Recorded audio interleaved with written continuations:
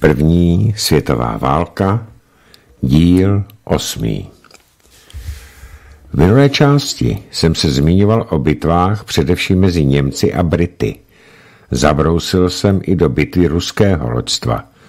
Jenomže válečné loďstvo měla i další z ústředních mocností první světové války, a to Rakousko-Uhersko. Byť by se mohlo zdát, že se válka v jeho podání konala především na souši, což je také pravda, přece jenom se i tato mocnost zapojila do války na moři. A tak se na jednu z námořních bitev Rakouska Uherska podívejme podrobněji. Byla to bitva v Otranské úžině. Uskutečnila se 15. května 1917. Toho dne, brzo ráno, napadlo rakousko-uherské loďstvo protiponorkovou bariéru v Otranském průlivu. Je to průliv mezi Apeninským a Balkánským polostrovem a spojuje Jaderské a Jonské moře. Tuto protiponorkovou bariéru tvořily státy dohody, aby v Jaderském moři zablokovali nepřátelské ponorky a ty nemohly se středozemního moře do Atlantiku. Této bitvě bylo rakousko-uherské loďstvo úspěšné. S minimem ztrát vážně narušili protiponorkovou bariéru a přitom lodě dohody v této bitvě měly výraznou materiální převahu, které ovšem nedokázali využít. Rakousko-uherské loďstvo tvořily dvě útočné skupiny – Té první velel admirál Mikloš Horty a skládala se z lehkých křižníků Helgoland a Novara. Ten byl vlajkovou lodí admirála a dále Saida. Druhé skupině lodí velel kapitán Johannes von und zu Liechtenstein a tvořili torpédorborce třídy Tátra, tedy Čepel a Balaton. Krycí svaz tvořil pancéřový křižník Sankt Georg torpédoborce Tátra, Varas Diner a několik torpédovek. Svazu velel kontradmirál Alexandr Hanza. V pohotovosti byl i další svaz, který tvořila pobřežní obrněná loď Budapešť, tři torpédovky a nasazeny byly i tři rakousko-uherské ponorky, včetně jedné německé UC-25, která u Brindisi položila právě minové pole. Rakousko-uherské velení vypracovalo taktický plán, při kterém po, pro dosažení co největšího úspěchu počítal s tím, že každý křižník zaútočí v jiném sektoru. Dne 15. května ve tři hodiny ráno spatřili dva lehké křižníky italský konvoj a napadli jej. Potopili italský torpédoroborec Borea a další dvě nákladní lodi – Zachránila se z tohoto konvoje jenom jedna nákladní loď, která plula ve větší vzdálenosti od konvoje a jakmile zaslechla zahájenou palbu z děl, co nejrychleji se otočila a uprchla. Poté rakousko-uherské křižníky napadly britské a italské traulery střežící protiponorkovou bariéru. Bylo jich celkem 47. Tra- trauler je menší spíše pobřežní pravidlo. Křižníky na ně zahájili palbu v, půl páté ráno a potopili sedmnáct traulerů a tři velmi vážně poškodili. Zbytek traulerů utekl, ale nikolik všechny. Například trauler s jménem Jovan Lé boj s křižníky přijal a statečně s přešsilou bojoval byť měl velmi slabá děla a měl jich málo. Tím umožnil ostatním traulerům uniknout, i když sám byl potopen i s posádkou. Kapitán Josef Watt byl později vyznamenán posmrtně Viktorijným křížem. Tento útok vyvolal nutnou reakci.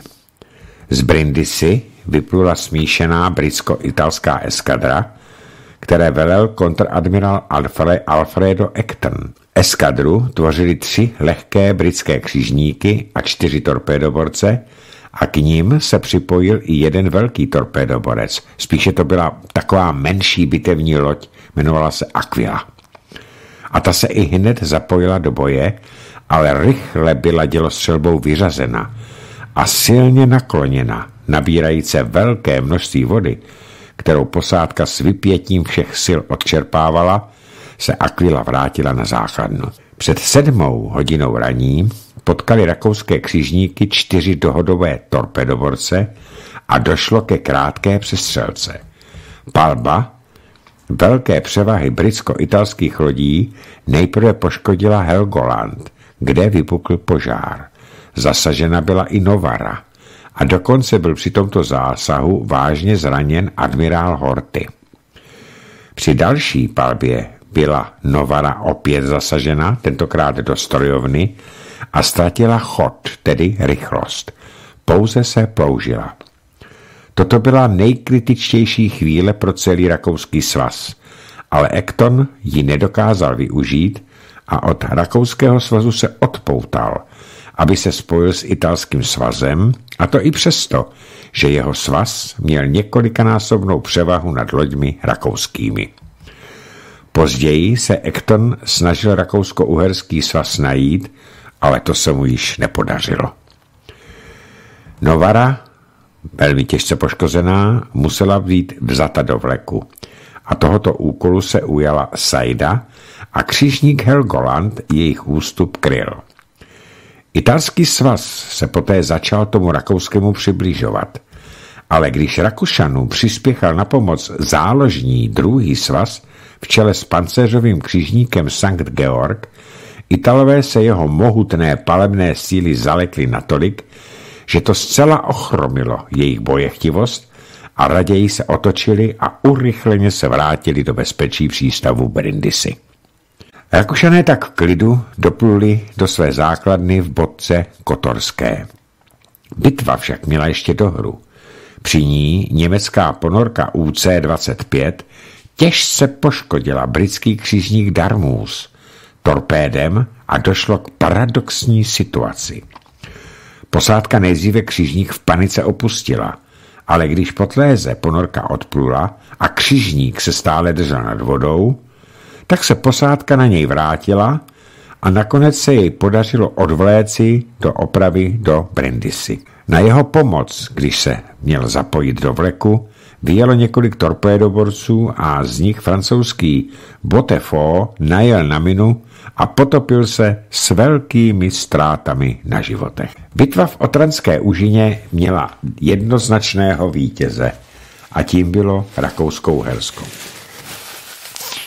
Zatímco dohoda při ní, při této bitvě, ztratila dva tor- torpédovorce, 14 traulerů a dvě nákladní lodě a další tři traulery a křižník Darmut byly vážně poškozeny, na rakouské straně byla vážně poškozena pouze Novara a i ztráty na životech byly na straně dohody až trojnásobné.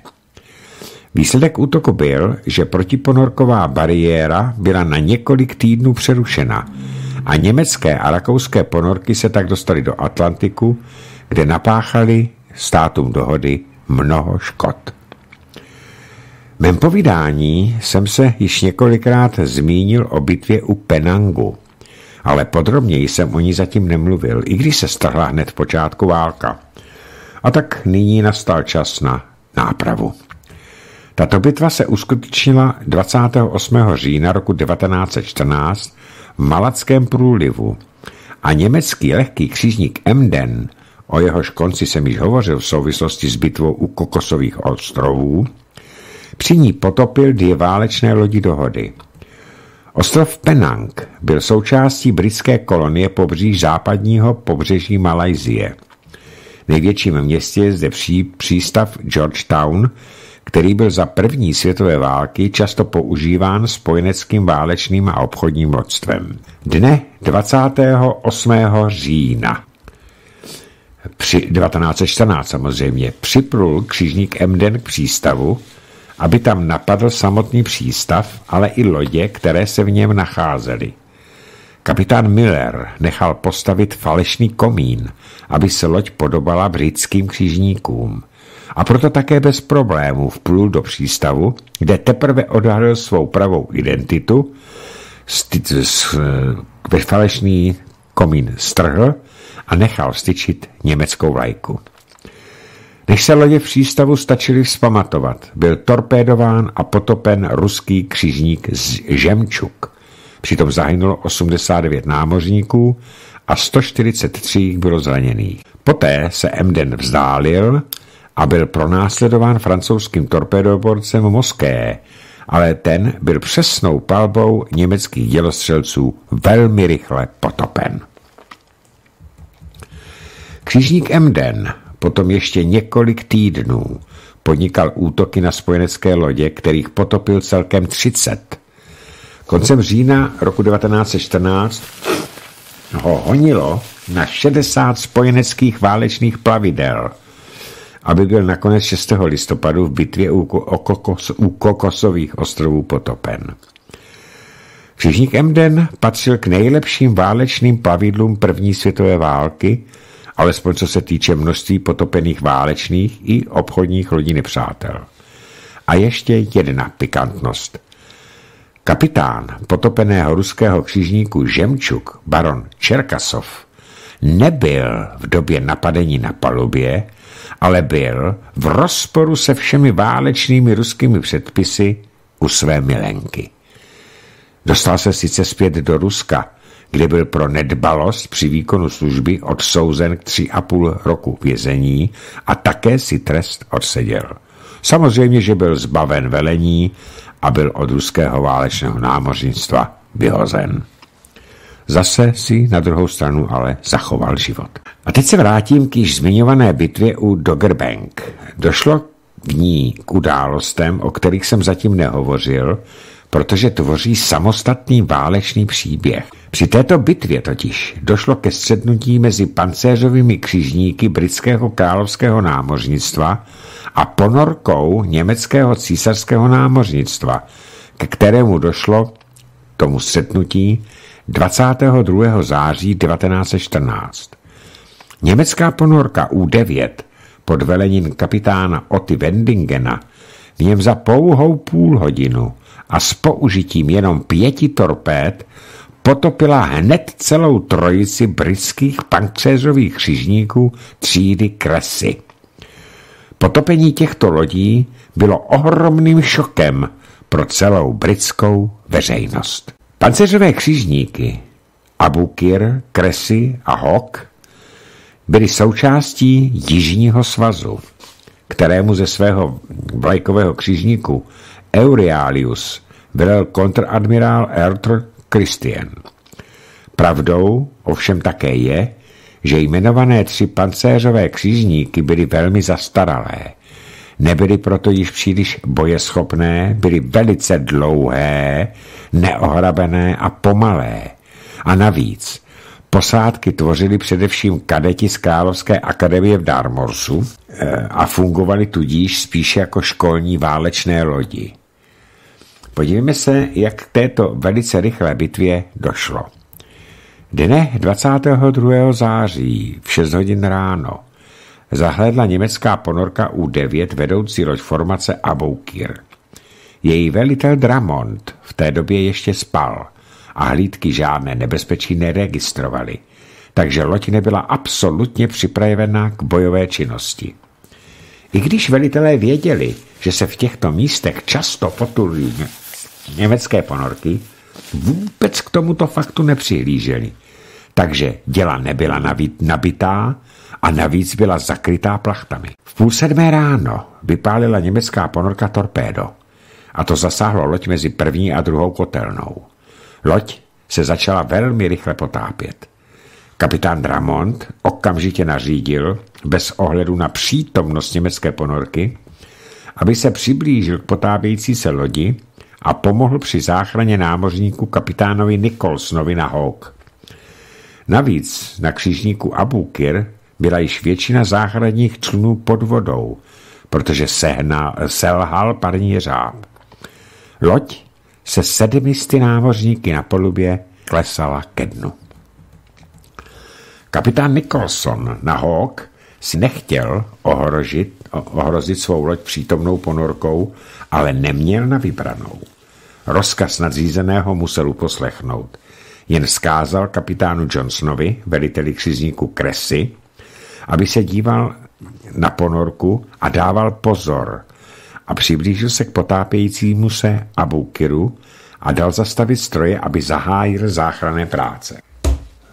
V 6 hodin 55 minut velitel německé ponorky U-9 Wendingen nechal vypálit další dvě torpéda, která zasáhla skladiště střeliva a Hawk explodoval a začal klesat ke dnu hned vedle Abukiru, který byl již téměř potopen. Kapitán Johnson, velitel Kresy, se rozhodoval, co udělat. Mohl zachránit loď a rychle odplout do přístavu v Anglii a nebo jít na pomoc trosečníkům. Lidskost zvítězila. Přiblížil se k trosečníkům a málem do nich najel. A proto dal zastavit stroje a zahájil záchranné práce. Neměl to dělat. V 7 hodin 17 minut vypálili zadní torpédomety ponorky další dvě torpéda a ta zasáhla kresy, prorazila pancíř a voda se do křižníku začala hrnout mohutným proudem do kotelen. Jakmile se dostala do rozžavených kotelen, vybouchly ty stroje a kresy se připojila ke dvěma sesterským lodím na dnu moře. Paradoxem je, že angličtí námořníci neměli záchranné vesty a nejbližší anglická válečná loď byla 60 kilometrů daleko. Trosečníky, tedy, tedy které se podařilo zachránit, nakonec zachránili angličtí a holandští rybáři, kteří se i přes nebezpečí, že na ně začne ponorka střílet palubním dělem, odhodlali, připluli a zachránili to, co ještě bylo živé. Ale přesto, přes tuto statečnou a odvážnou akci holandských a anglických rybářů bylo obětí hodně.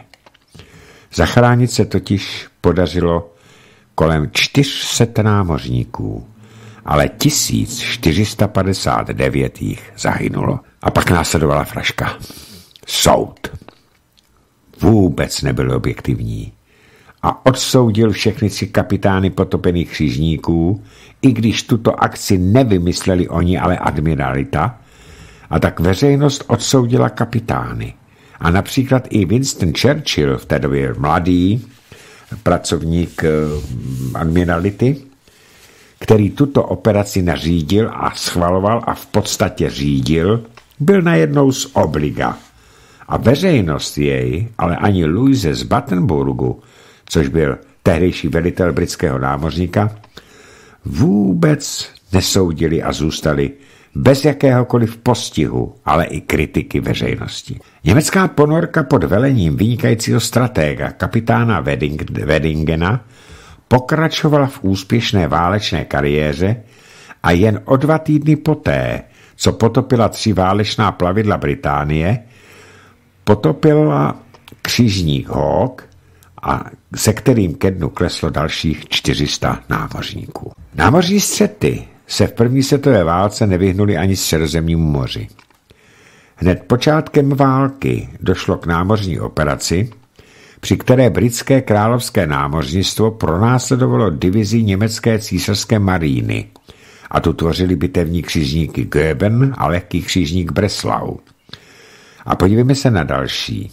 A v podstatě ale to byl první neúspěch britského námořnictva během první světové války, protože tato akce se udála hned vypuknutím této světové války.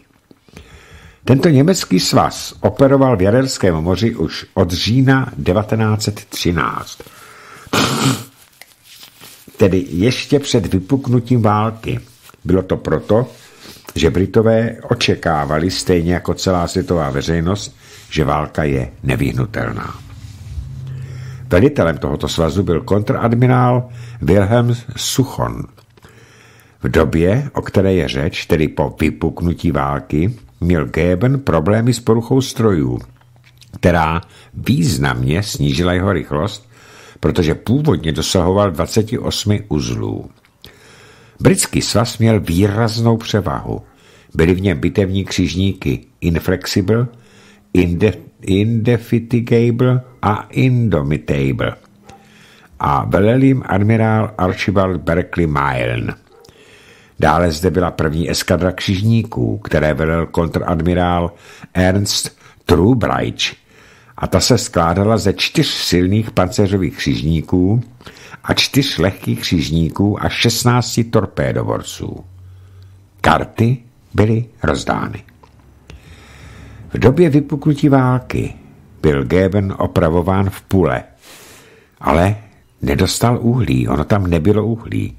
A tak po opravě odplul, ta oprava byla samozřejmě provizorní, do Tarentu, kde nabral plné zásobníky uhlí a spojil se s Breslau.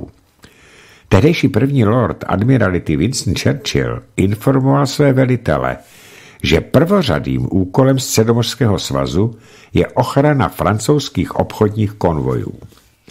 Ráno 4. srpna ostřelovali německé lodě francouzské přístavy a při návratu do Mesíny německý svaz sledovali dva bitevní anglické křížníky a lehký křížník. Zasáhnout ovšem nesměli.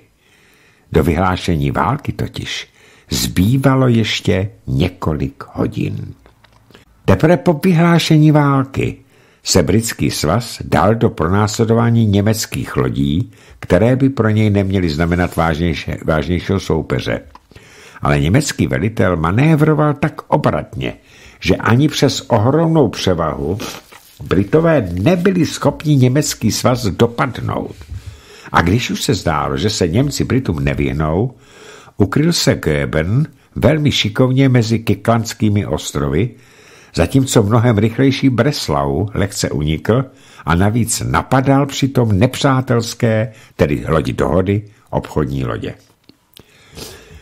Britové dokonce popletli souřadnice a vydali se hledat Němce jinam.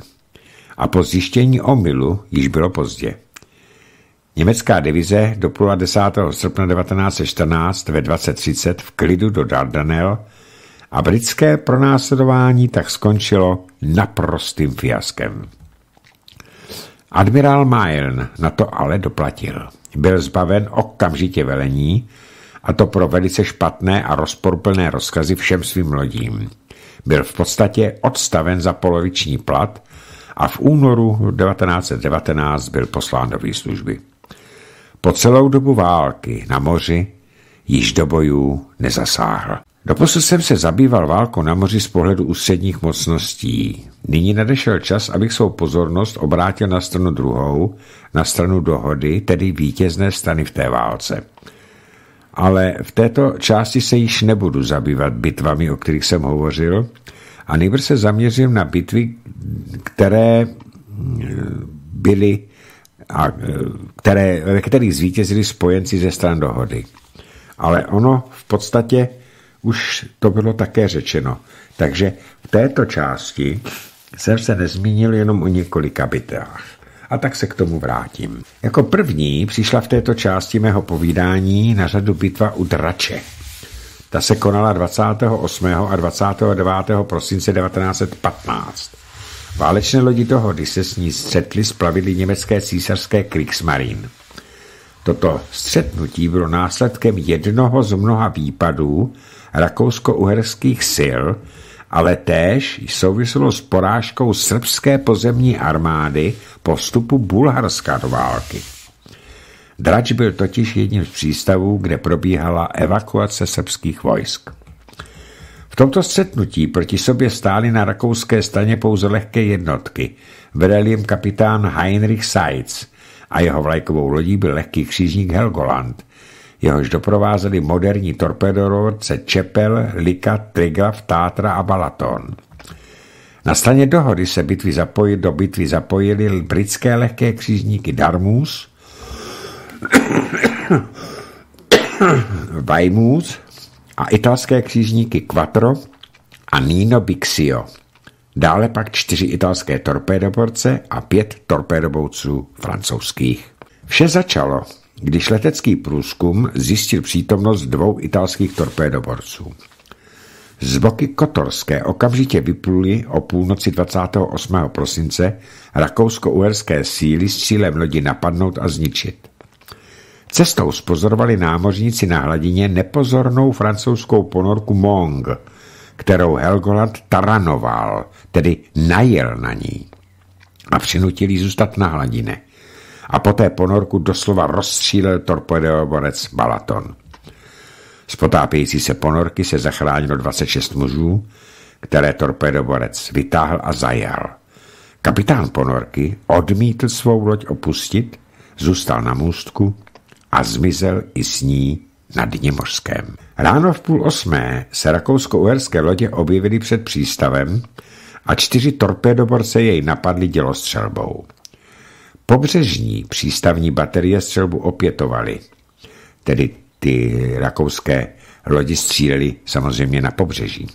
A Helgoland se je snažil marně umlčet. Eh, jenom taková poznámka malá, eh, lodní děla jsou většinou daleko silnější, větší ráže, než jsou pobřežní děla. Rakošané dopadly jenom jeden parník a dvě plachetnice, které potopily. Jenomže Triglav a Lika najeli na minové pole, přičemž Lika najela hned na dvě miny. Jedna ji zničila lodní šroub a druhá vybuchla pod středobokem, takže se loď rychle potopila. Triglav najel na jednu minu, která mu vybouchla pod kotelnou, ale se stal nepohyblivým. Čepel se ho snažil vzít do vleku, ale lano prasklo a poškodilo mu lodní šroub, takže ho v 9 hodin 30 minut nahradil torpedoborec Tátra. Právě pro tyto potíže se velitel Rakušanu rozhodl z obavy před loďcem dohody, že se vrátí na základnu. Na pomoc mu byl vyslán obrněnec Budapest, pancéřový křižník Kaiser Karl IV. a lehký křižník Novara, ale ty však do bojů přímo nezasáhly. Rakouský svaz prchal, ale zdržoval ho poškozený Trigav. Cestu mu přehradili dva dohodové křižníky Darmus a Quattro, jimž na pomoc rychle z Brindisi vyrazili dva svazy torpédoborců a další dva křižníky. Když Rakušané ve 13 hodin 15 minut spatřili jejich kous komínům, a proto byl Triglav opuštěn, aby ostatní lodě nezdržoval. Dostihli ho francouzské torpédoborce a potopili ho. Ale potom již do dalších bojů také nezasáhli. Potopili Triglav, který byl prázdný, bez posádky, která, byla, která se stačila přemístit na jinou loď. I Čepel nemohl plout rychle kvůli právě poškozenému šroubu, ale jinak poškozen nebyl. Jeho palebná síla byla perfektní, takže kryl ústup ostatních lodí. A ty zase naopak poskytovali podporu svými kanony jemu. Pak se dostali oba svazy na vzdálenost 8 až 10 kilometrů od sebe a zahájili oba dva svazy téměř okamžitě a současně palbu. Přičemž rakouské lodi byly mnohem slabší, co se týče výzbroje, měli menší kanóny, menší dostřel. Darmus ostřeloval rakouský křížník Helgoland a dvakrát jej zasáhl. Poškození ale nebylo vážné. Quattro ostřeloval opožděný křižník Čepel, který palbu opětoval, ale ani jedna tu druhou loď netrefila. 1535 se k honice připojili křižníky Nino Bixio, Vajmus a několik torpédoborců. Helgoland byl opět třikrát zasažen, ale nějak neutrpěla jeho bojeschopnost. Při boji Rakušané neustále ustupovali k italskému pobřeží a teprve s nadcházející nocí změnili kurz ke svým základnám. Přičemž Helgoland těžce zasáhl křižník, italský křižník Nino Bixio. Po 18. hodině, to už bylo za tmy, se Rakušanům podařilo v té tmě uniknout. Příštího dne ráno bezpečně dosáhli základny na Šibeniku. V této bitvě ztratilo Rakousko-Uhersko citelnou ztrátu dvou nejmodernějších torpédoborců a jen zásluhou výborného manévrování kapitána Sajce ostatní lodi unikly zničení. Vítězství tak bylo jednoznačně na straně lodí dohody. A teď se podívejme na další strašlivou zbraň první světové války. Novou zbraň. Podívejme se na ponorky. Protože Součástí první světové války na moři patřila i další nová, dříve neznámá zbraň, ponorky. A tak se na to, jak probíhala tato ponorková válka, v krátkosti podívejme. Systém podvodních člunů byl známý již dlouho. První vymyslel už Leonardo da Vinci, slavná renesanční osobnost. Teprve však vynálezem elektrického motoru a jeho pohonu pod hladinou se ponorky vyvinuly ve velmi účinnou zbraň. Této účinnosti také napomohl vynález torpéda, které se jak v té první, ale i v té druhé válce stalo obávanou ponorkovou zbraní. Navíc účinnosti a tím i nebezpečnosti ponorek nabilo zlepšení jejich plavby za pomoci gyrokompasu a též periskopu, což byl také nový vynález. Jako první vůbec zavedli do své výzbroje ponorky USA. Byl to typ ponorek Holland. A protože se velice osvědčil, následovalo zavedení této zbraně do flotil i dalších zemí. Vývoj ponorek samozřejmě velice uspíšila právě první válka, především v Německu, takže jejich ponorky se staly nejlepšími ze všech válčících stran. A to nejenom kvalitou strojů a lodí, tedy ponorek, ale i posádek. To si uvědomila britská admiralita a proto do vývoje ponorek investovala mnoho úsilí i peněz, aby se Němcům Britové vyrovnali. Současně s nasaženým ponorek do bojových akcí vznikaly i nové typy lodí určených právě pro boj s touto velikou hrozbou. Byly to speciální lodi pro boj s ponorkami. První vůbec úspěšná akce ponorky, byla to německá U-21, se dostavila hned po vypuknutí války. 5. září 1914 se to stalo. Tato ponorka potopila u severoanglického pobřeží lehký křížník Pathfinder a 3000, o 3200 tunách. Byla to první válečná loď potopená ponorkou. A následovaly další úspěchy, které z německých ponorek s vynikajícími veliteli učinili doslova zbraně hrůzy. Německé ponorky se rozmístily a samostatně hlídkovali mezi anglickými ostrovy Shetlandami a Orkneyemi a norskou pevninou. Měli za úkol vyhledat a přepadat nepřátelská vojenská plavidla. A právě v této oblasti se ponorce U-9 podařilo torpedovat křižník Hawk. Obrněnec, byl to obrněný křižník, se potopil během osmi minut a začala další fáze podvodního boje.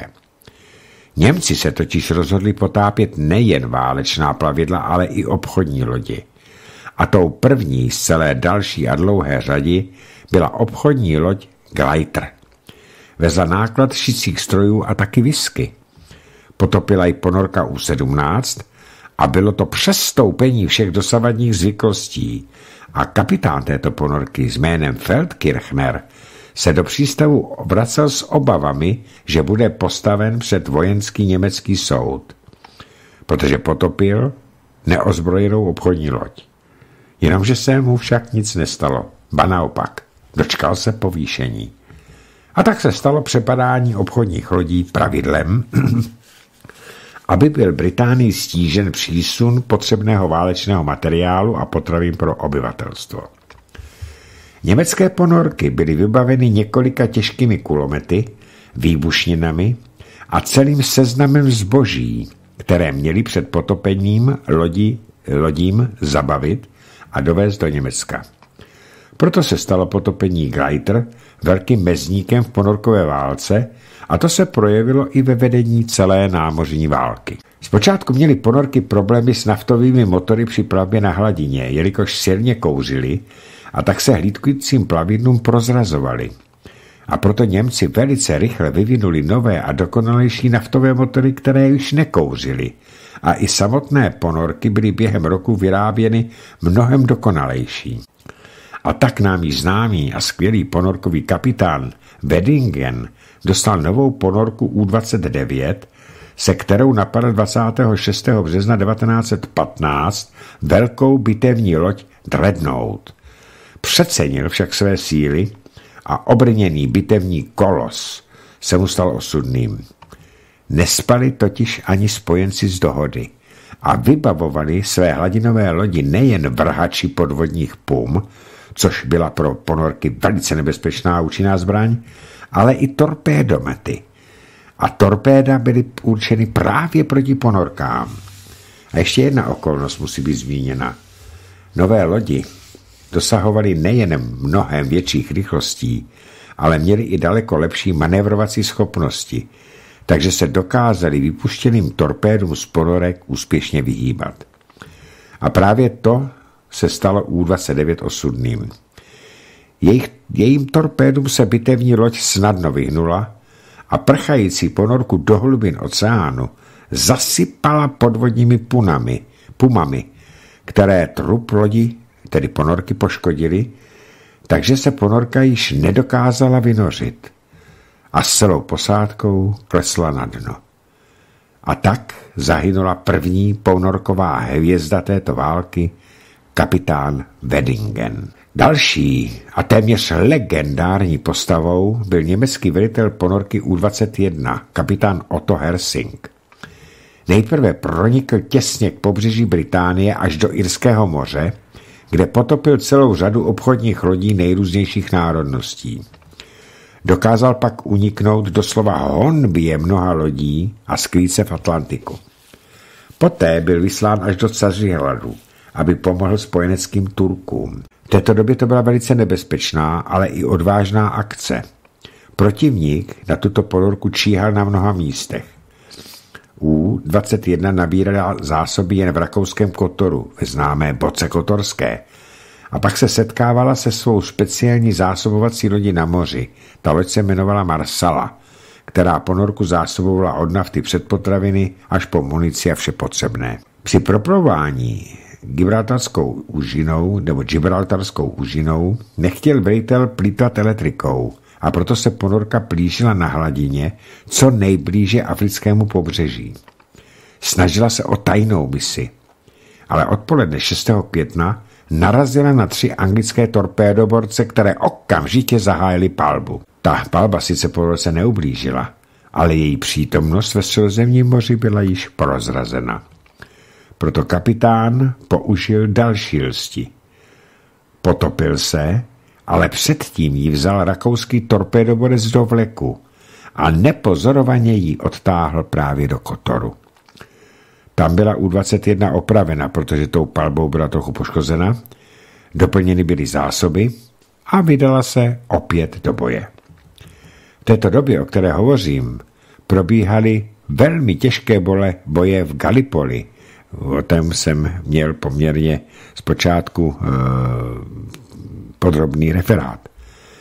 A Ponarka se tam zapojila do bojů. v tureckých vodách spatřil její velitel velký anglický křížník Triumph o 12 tisících tunách. To jsou bruto registrované tuny. U-21 se ponořila, téměř naslepo podplula celou řadu menších ochranných pravidel, a vystrčila periskop pouhých 300 metrů před obrněncem. Téměř okamžitě vypálila tři torpéda a křižník šel během pěti minut ke dnu. Jeho potopení se stalo v Gallipoli velkou událostí. Britové si nedokázali ani představit, že by se mezi spoustou jejich plavidel, které měli u Gallipoli, nakonec o této bitvy, jak jsem již říkal, jsem povídal, že by se tam mohla vůbec prohánět německá ponorka. A nebylo to všechno. Kapitán Hersing o několik dní později znovu přelstil obranu dalšího velkého obrněnce Majestiku. A i on šel po zásahu torpéd ke dnu. A pak udělali Britové na U-21 doslova hon. Ale Hersingovi se podařilo uniknout a 5. června proplul Marmarským mořem do Cařihradu. Tam se dozvěděl, že angličané na jeho hlavu vypsali odměnu 100 tisíc liber šterlingů. Byla to v té době nevýdaná částka. 10. května 1915 se udála přelomová skutečnost. Dne 30.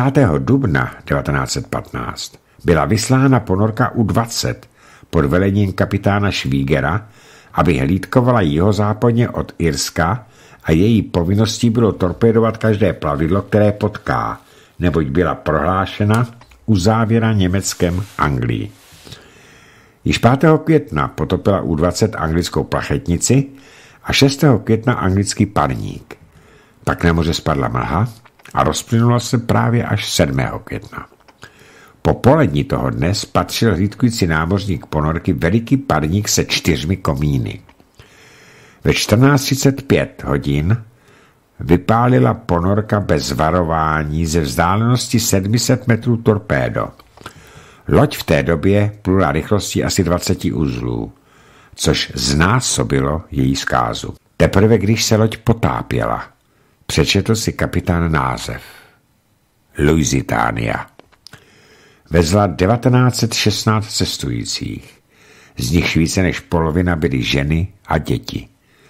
Zachránilo se jenom 764 lidí a 1152 pasažérů se utopilo.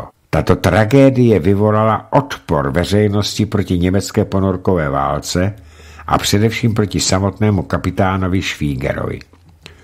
Ten si z toho ale nic nedělal a dál potápěl nepřátelské lodi a dokonce dostal funglnovou a moderní ponorku U-88, na níž převedl svou posádku samozřejmě doplněnou nováčky. Až do září 1917 řádila tato ponorka na všech mořích, až narazila na anglickou léčku. Na protiponorkovou speciální loď, která byla maskovaná jako starý a málo pohyblivý obchodní parník. Švíger proti němu bez ova vyjel na hladině a byl potopen. Tato maskovaná loď také s největší pravděpodobností potopila i další ponorku U-41. V té době měli Němci na mořích 111 ponorek. Z nichž 27 působilo ve sredozemním moři. Následky ponorkové války vůbec nebyly zanedbatelné. V lednu 1917 potopily německé ponorky 202 lodě. V dubnu již 458 lodí. A za celý rok 1917, kdy řádily ponorky německé nejvíce, tak potopili 3167 lodí se 6 miliony bruto registrovanými tunami. Zpočátku spojenci proti ponorkám, jak jsem říkal, neuměli bojovat, ale postupem času vypracovali účinnou strategii. Takže v roce 1917 bylo potopeno 63 ponorek. Jakmile se ale zavedlo další obrané opatření k dokonalosti přivedené později za druhé světové války, tedy konvoje s bojovými loděmi před a za konvojem, ale i po jeho stranách, začaly se úspěchy ponorek zmenšovat. Speciální protiponorkové lodě a hlavně jejich posádky dosáhly téměř dokonalosti a námořníci na nich, tedy na těch protiponorkových lodí, lodích si vypěstovali instinkty natolik, že dokázali přítomnost ponorky jaksi vycítit. Jsou zaznamenány případy, že bylo zaútočeno podvodními pumami, aniž by se přítomnost ponorky prokázala. A buď se poškozená ponorka vynořila, aby si posádka zachránila život, byť v zajetí, anebo se potopila bez vynoření, to po těžkém poškození. O čem svědčili vyplavené trosky a velké Ovšem i německé posádky začaly ponorek používat triky. Když byly zasypávány těmi podvodními pumami a ty pumy byly naštelovány tak, aby vybuchovaly příliš málo pod hladinou, ponorky byly níž, hlouběji, tak měly ty ponorky speciálně nádrže s olejem a začali ten olej vypouštět. A angličané se mnohdy nechali napálit a mysleli si, že ponorka dostala zásah, potopila se, aniž by se jí podařilo vyplavat a tak si zapsali čárku za vítězství nad ponorkou a spokojeně odpluli. Načež ponorka se vynořila, naprosto nepoškozená a začala bojovat dál. I to se používalo velice často v této válce lstí na moři. V roce 1918 dosáhla protiponorková obrana takových rozměrů, že zvládla většinu svých úkolů a německé ponorky se ke svým cílům dostávaly stále obtížněji a mnohdy se stami sami stali kořistí protiponorkových lodí ještě dříve, než se stačili při, přiblížit k těm konvojům na dostřel torpéda. Když v listopadu 1918 válka skončila, německé ponorky se vrátily do mateřského přístavu v Kýlu a spojenci je zabavili. Bylo jich 172 a o mnohých z nich spojenci neměli ani potuchu. Německá ponorková válka patřila k dalším krutostem, které první světovou válku provázely. Jak jsem říkal, že každá válka přináší velké technické a převratné novinky mnohem rychleji, než se objevují v dobách míru. Za první světové války se objevily nové nebo výrazně zdokonalené zbraně a systémy. Snad nejvíce se to týkalo letectví. Letadla první světové války byla vyráběna především z lehkého dřeva a tkanin. Zpočátku neměla ani palubní výzbroj, protože sloužila především jako pozorovatelská technika. Když se hned v počátku války potkali nepřátelští piloti, ani spolu nebojovali a později po sobě začali střílet pistolemi. Až později v průběhu války se začala letadla vyzbrojovat kulomety. Zatímco spojenecká letadla měla kulomety umístěné na horních křídlech, aby střelba nezasahovala do poloměru vrtule, což vedlo ke značné nepřestrosti střelby, německý vynálezce a letecký konstruktor Fokker na svých letounech vymyslel koordinaci otáček vrtule a střelby. Zkrátka, kulky z jeho kulometů létaly mezi listy vrtule. A proto byli němečtí stíhači úspěšnější, až v počátku, neboť mohli přesněji mířit. Zároveň se zdokonalováním letadlů, letounů se vymýšlely i záchranné prvky pilotů, tedy padáky. Jenomže piloti za první světové války je odmítali jako zbabělost. A proto jich taky možná tolik zahynulo. Když roku 1916 se náhodně setkal francouzský pilot s německým, francouzovi se podařilo Němce sestřelit. A tak vznikly stíhací piloti. Elita letectva. A také začala vznikat taktika leteckých soubojů. Vznikly letecké formace a zdokonali se, do, dokonalila se taktika stíhačů. Bombardovací letadla byla zpočátku stejná jako stíhací, jen sebou vezla náklad granátů, které pomocník pilota ve dvousedadlových strojích vyhazoval na nepřátele při přeletu nad jejich zákopy. A vojáci po nich stříleli jenom z pušek, neboť protiletecká obrana byla tehdy ještě v plenkách a samozřejmě z kulometů. Podívejme se nyní na závěr předposledním dílu celého cyklu na letecká ESA první světové války.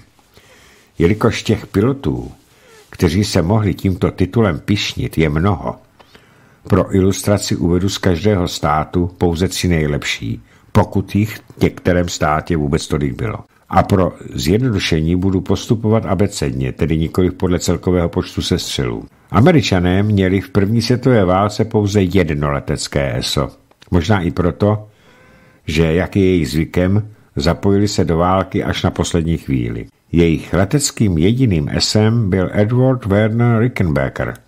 Ten se narodil 8.10.1890 a zemřel 23.7.1973. Dosáhl 26 vzdušných vítězství. To znamená 26 sestřelů měl. Přičemž, aby mohl získat titul ESO, musel mít nejméně sedm sestřelů. Austrálie měla též jenom jedno letecké ESO a tím byl Geoffrey Forrest Hikes. Ten se narodil 12.7.1895 a zemřel 13.9.1951. Dosáhl 11 potvrzených sestřelů. Jinak o tom potvrzeném sestřelu, protože letadla se začala létat ve dvojicích a strojicích a pokud se vrátila na základnu, tak ti ostatní dva piloti nebo si navzájem museli ty sestřely podpisem stvrdit. Jestliže tam nebylo jasné, kdo to sestřelil, tak se nikomu ten sestřel nepřipisoval. A nebo se to dělilo třeba i na třetiny. Belkyčané měli dvě letecká esa. Jedním byl Willide Houtlust. Narodil se 6.7.1892 a zemřel 21.12.1986. Tam se narodil 1892 samozřejmě. A ten měl uznaných 37 sestřelů. Druhým, daleko méně úspěšným pilotem, který se ovšem mohl započíst mezi letecká ESA, byl Belgičan Edmond Thiefry. Ten se narodil 28.9.1892 a zemřel 11.4.1919, tedy ve válce. A měl deset potvrzených sestřelů a pět pravděpodobných. I Britové měli leteckých S první světové války více, ale jak jsem říkal, uvedu jich jenom tři. Celkově jich měli Britové sedm. Tím prvním byl Albert Ball. Narodil se 17.7.1896 a zemřel 7.5.1917, tedy také za války. Měl 44 potvrzených sestřelených nepřátelských letadel. Zařadil se v celkovém počtu na druhé místo mezi největšími leteckými esy, které brázdily válečný vzduch první světové válce. Druhým, nepoměrně méně úspěšným leteckým esem byl Sir Christopher Joseph Brand. Ten se narodil 25. května 1893 a zemřel 7. března 1968. Dosáhl celkem 12 potvrzených sestřelů. Měl však mnohem těžší úlohu, protože byl převážně nočním stíhačem. Třetím v pořadí byl sice Australan, ale bojoval v britských leteckých silách a proto je zařazen mezi britská letecká ESA a nikoliv mezi australská. Byl to Sir Arthur Cunningham, který se narodil 9.1.1895 a pravděpodobně zemřel 31.1.1948. Dosáhl devíti sestřelů, takže přičemž zařazení mezi ty ESA překročil o dva sestřely. Francouzi měli leteckých S hodně, skutečně hodně. V seznamu je celkem 31 jmen. A jelikož bych se těch, těmto francouzským skvělým pilotům věnoval více, nechám je, stejně jako další letecká ESA, až na příští, tedy poslední část mého povídání o první světové válce. Rád bych se totiž na úplný závěr věnoval průběhu první světové války v zemích válčících stran a především tomu, jaké dopady měla na život lidí u nás. Už jenom proto, že u nás snad není příliš mnoho vesnic, měst, ale i vesniček, kde by nebyl pomníček na památku mužů, kteří v této veliké válce položili své životy. A tak, vážení posluchači, to bylo dnešní část, předposlední část cyklu První světová válka.